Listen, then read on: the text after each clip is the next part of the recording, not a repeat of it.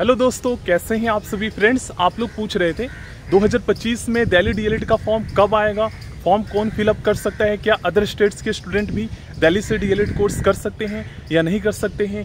Minimum qualification क्या चाहिए? Class twelfth pass होना चाहिए या ग्रेजुएसन चाहिए दिल्ली से डीएलएड कोर्स करने के लिए?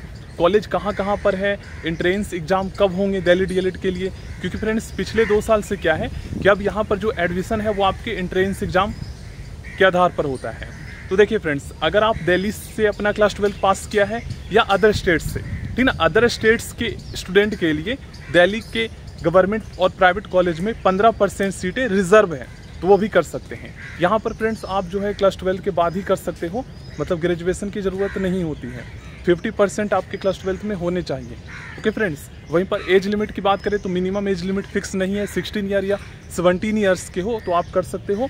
वहीं पर मैक्सिमम एज की बात करें तो जनरल के लिए फ्रेंड्स, जनरल ओबीसी ईडब्ल्यूएस के लिए 30 सितंबर 2024 सॉरी 2025 के अकॉर्डिंग मैं बता रहा हूँ 30 सितंबर 2025 तक आपका एज 24 साल से ज़्यादा नहीं होना चाहिए।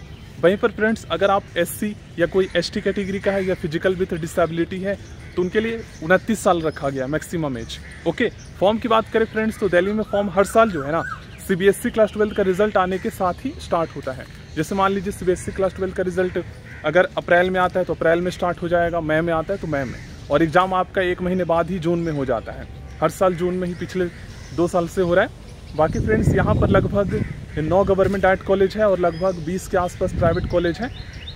गवर्नमेंट कॉलेज में एक हज़ार चालीस सीटें हैं, प्राइवेट कॉलेज में लगभग दो हज़ार के आसपास सीटें हैं। तो एडमिशन हो जाता है अगर आप अच्छे से एंट्रेंस एग्ज़ाम की तैयारी करते हो तो। डिटेल सिलेबस अगर आप देखना चाहते हो तो उसका लिंक आपको डिस्क्रिप्शन बॉक्स में मिल जाएगा, आप लोग जाकर चेक कर सकते हो। So thank you